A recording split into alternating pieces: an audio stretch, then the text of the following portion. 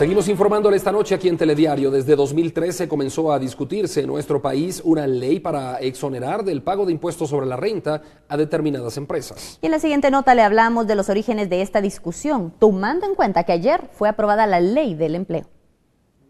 Ante la exigencia de la Organización Mundial del Comercio de los incentivos fiscales que exoneraban el pago de impuestos sobre la renta a empresas exportadoras, maquilas y zonas francas, culminara el 31 de diciembre de 2015, ante ello mil empresas amparadas en el decreto 2989 y 6589 iniciaron una serie de cabildeos con gobiernos de turno con la intención de aplazar el mantenimiento de estas exoneraciones.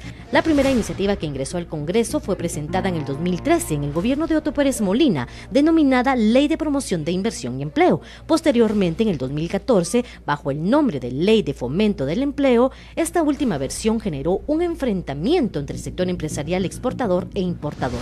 Este último reclamó ser objeto de una competencia desleal y el cese de estos tratamientos diferenciados. En el 2015 se vino una tercera propuesta denominada Ley de Condiciones Económicas para fomentar el empleo, presentada por el partido líder. De igual manera, no encontró eco en el Congreso de la República. Finalmente, este estira y encoge se trasladó en las propias instancias gubernamentales. El Ministerio de Economía y Superintendencia de Administración Tributaria se enfrentaron por el impacto en la recaudación de continuar con este periodo de gracia fiscal. Finalmente llega la iniciativa 5007, presentada por el exministro Jorge Méndez Gerbruger con el gobierno de transición de Alejandro Maldonado, denominada Ley de Conservación del Empleo. Telediario Información Actual.